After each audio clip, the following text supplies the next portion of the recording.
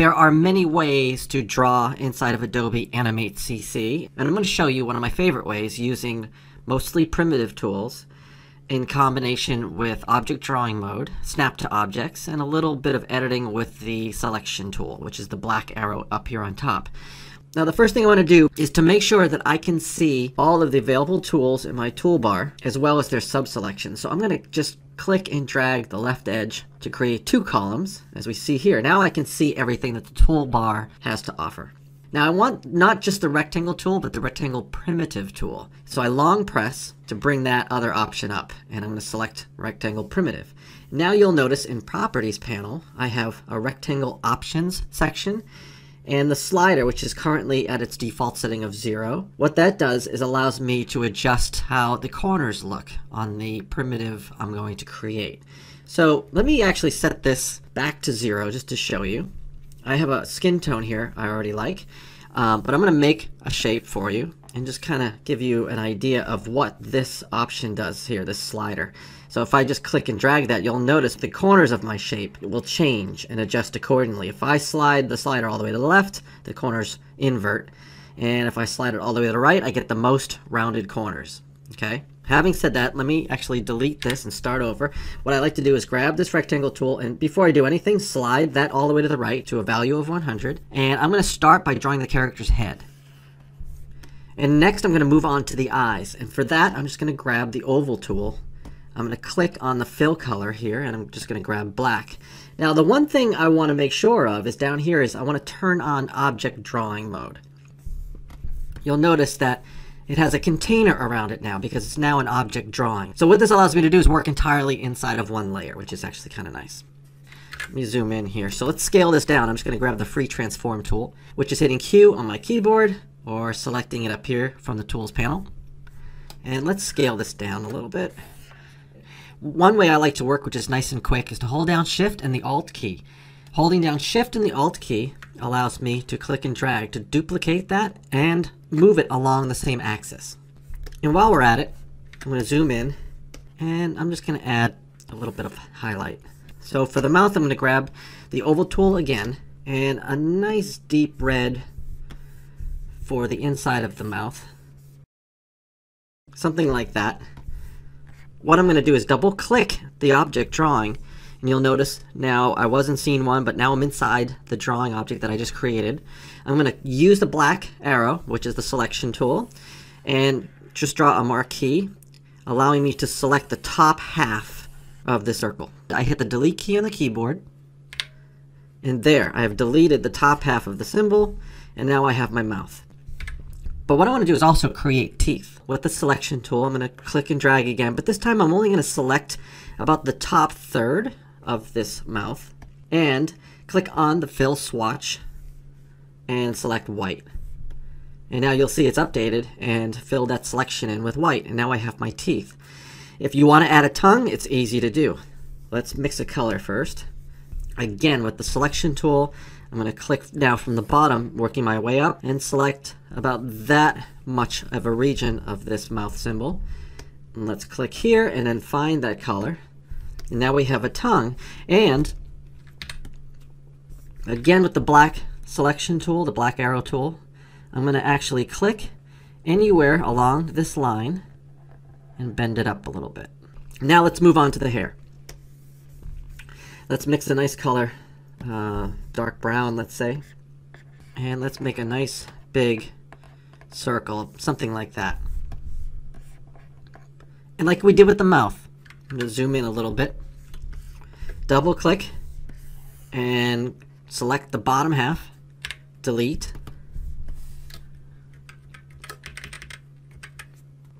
And we have bangs. Now if we want to add a little bit of variation to these bangs, I'm going to double click using the black arrow tool. I'm inside the drawing object again. I'm going to click and drag upward from the bottom to select this region here and hit delete. Right, so now I've created an, an interesting shape. And when I turn on snap to objects, let me zoom in, and I go and I click and drag one of these corners, you'll notice that it snaps to the other corner. Once I get close enough to another vector point, it'll snap together. Essentially, it's joining those two points together to create one. And we can repeat this as many times as we want to create more variations in her hair. It's up to you. And then holding down the Shift and Alt key, clicking and dragging, which will duplicate it, making the other ear. And let's make the hair behind her, the back of her head.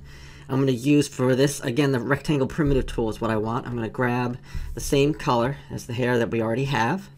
And I'll show you how to arrange things later, but let's create a nice big shape for the back of her head. Now, what I want to do is go to Modify, Arrange, and Send to Back. And we have her hair. The rest of the features of this character are all comprised using the primitive tools such as rectangles and ovals. And then from there, using the selection tool to select different regions of these simple shapes to either delete them or while they're selected to change their color, Eh, whether it be shadow or highlight, whatever you see fit.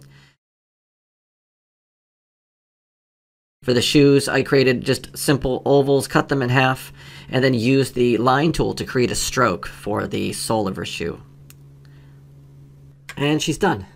So you can see how quick and easy it is to work this way using primitive tools. It's also, it's a nice, easy way to draw even if you don't have any kind of pressure sensitive drawing tablet or maybe you're on your laptop and you're using a trackpad, um, you can still achieve kind of really cool results uh, this way.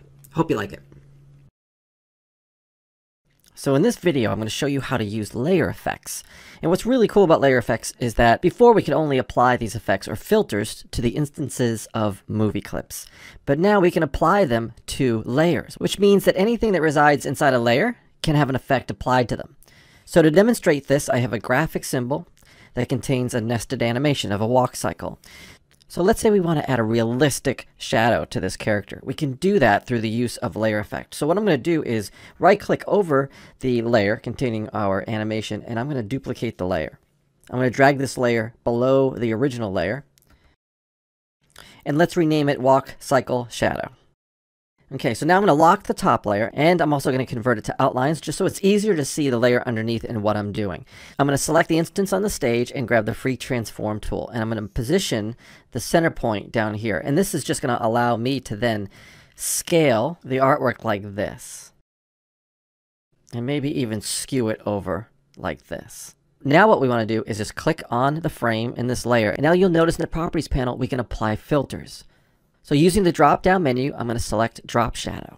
If I scrub the timeline, you'll notice that this effect is applied to the entire layer. And so for this shadow to look convincing, we're going to need to actually play around with some of these settings. So the first thing we want to do is hide the object. This will actually hide the original artwork and just show us the drop shadow.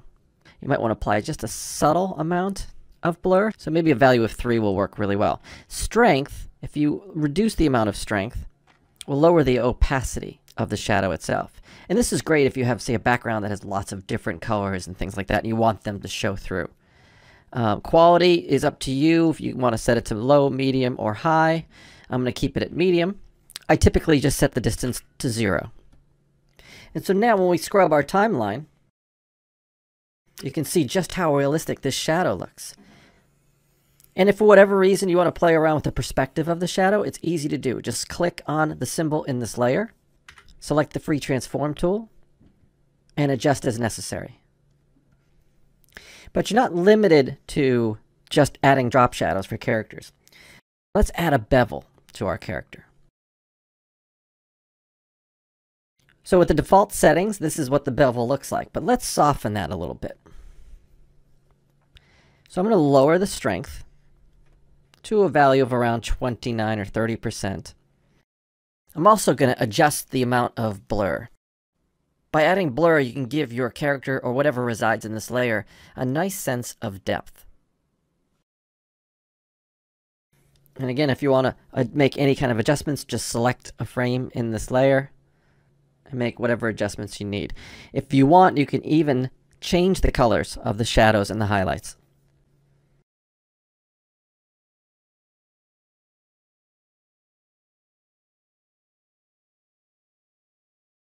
Another cool effect you can add, let's say you want to create an outline for your character. I'm going to select the glow effect.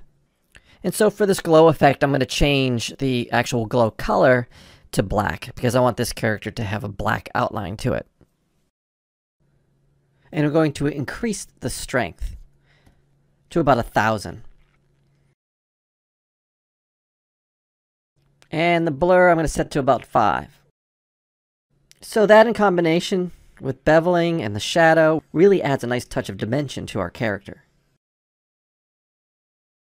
And to show you just one more cool effect, I'm going to select Adjust Color. And by adjusting some of these values for saturation and hue, we can completely change the